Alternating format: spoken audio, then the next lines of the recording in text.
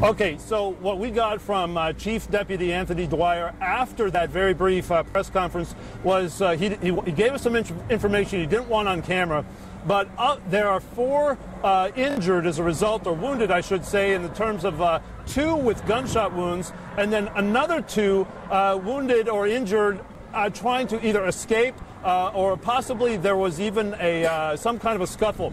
I directly asked them, did students try to take down the shooter? Uh, they did not have an answer for me at that point, but uh, suggested perhaps that uh, students either trying to get away or or some kind of uh, confusion that another two were injured as a result. So what he did confirm though is that two students of the four who are injured were actually shot.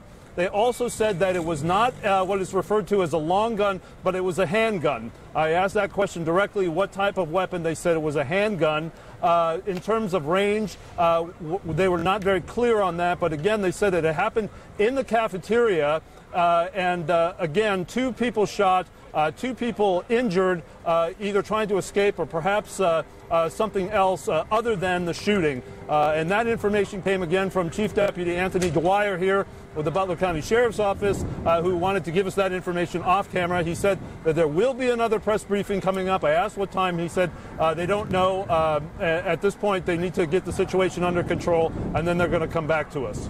And these are live pictures right now from Chopper 9 overhead. Uh, Chopper 9, the only local helicopter getting you breaking news first. This is our first look at Madison Junior Senior High School. You can see there are parents outside, there are firefighters, there are police officers outside trying to make this go as smoothly as possible. There was a shooting at this school at 11:30. Now, just two and a half hours later, parents are there to pick those students up. The lockdown has been lifted. Students are allowed to go home. There has been an immediate dismissal. Uh, we just have learned that, as Jay was just telling us, that four students have been injured in this school shooting, two of whom were shot in the cafeteria, two others who were hurt by shrapnel. Our Dan Carroll is manning Chopper 9. And uh, Dan, we are looking at this scene for the first time. Uh, talk to us.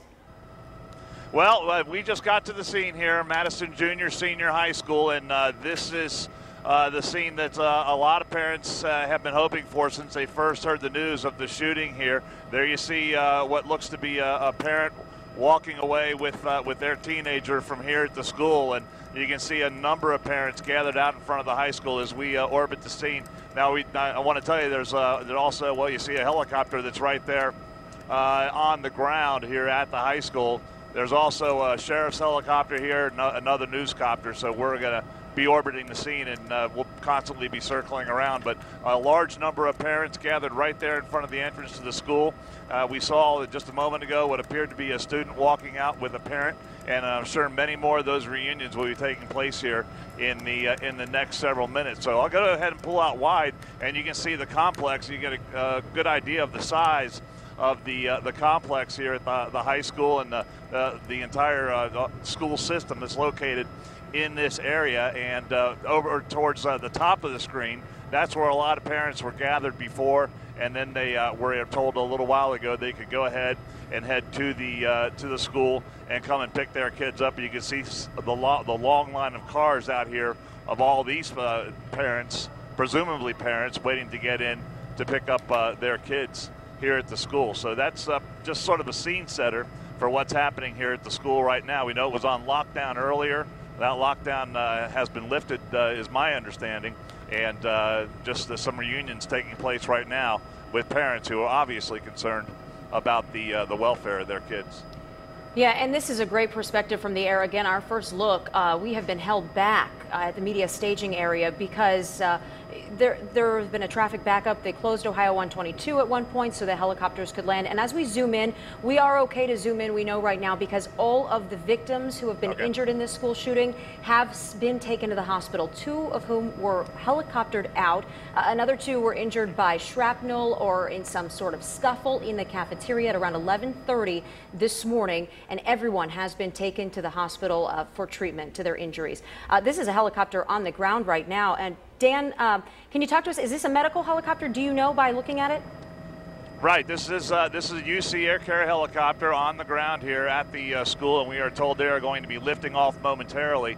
That's why we're keeping our distance from the school to give the uh, Air Care helicopter plenty of room to go ahead and, uh, and, and lift off. So I would imagine they just uh, loaded up a patient here in the last few minutes. Wow. Uh, Jeffrey, do you know if they have a patient on board? Uh, Okay, we don't know that for sure. Okay. We don't know that for sure, but uh, in any case, uh, the Air Care helicopter is still here on the scene. I'm a little surprised by that because we had heard that they uh, were called initially to the scene, and, and the information that I had was that uh, they had already landed and departed the scene. And so uh, to see an Air Care helicopter here on the scene at the school uh, at this uh, far into this event uh, surprises me just a little bit. So we'll have to find out whether or not uh, they do have a patient on board. But in any case, uh, you can see they're got the rotors turning and they'll be lifting off here in just uh, a few moments. Yeah, and that's what happens when this information is coming out uh, as it's developing, and we are live on the air. We are getting reports from uh, different agencies, from the schools, uh, from social media, which we have to be very careful about reporting. But we are trying to get you as much information as we can at this hour. And if Jay Warren